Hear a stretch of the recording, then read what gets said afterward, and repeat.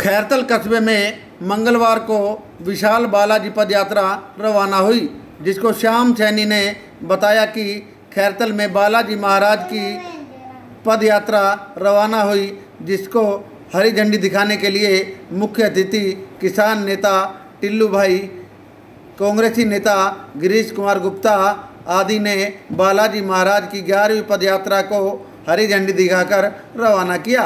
इस मौके पर बालाजी भक्तों की ओर से एक छोटा सा सांस्कृतिक कार्यक्रम रखा गया एवं प्रसाद वितरण कार्यक्रम रखा गया तथा अतिथियों को स्मृति चिन्ह देकर सम्मानित किया। किशनगढ़ से सुनील गरेवाल की रिपोर्ट।